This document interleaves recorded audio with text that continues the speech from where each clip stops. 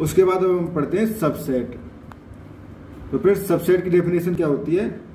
We say A subset of B if every element of A is also an element of B यानी कोई एक set है ए वो subset कहलाएगा B का।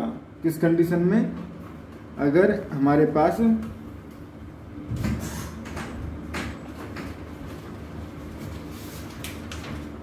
ए के जो भी एलिमेंट हैं, वो बी के बी में भी मिल जाए। जैसे सपोज़ कि ए में हमारे पास एलिमेंट है one two three four five six और बी में हमारे पास कुछ एलिमेंट हैं।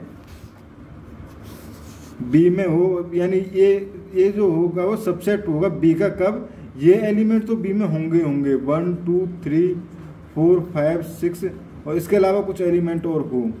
तो उस कंडीशन में हम कहेंगे कि ए सबसेट ऑफ़ बी और फ्रेंड्स अगर बी सबसेट ऑफ़ ए को शो करना होगा हमारा बी सबसेट ऑफ़ ए तो उस कंडीशन में हमारे पास बी के जो एलिमेंट होंगे, सारे एलिमेंट ए में मिल जाने चाहिए। यानी बी के सारे एलिमेंट ए में होंगे तो उस कंडीशन में हम कहेंगे बी सबसेट ऑफ़ ए और अगर हमारे पास दिया हुआ है कि ए सबसेट ऑफ़ बी है and B subset of A है तो इस कंडीशन में जो दोनों सेट जो होते हैं, वो इक्वल होते हैं ए इक्वल टू बी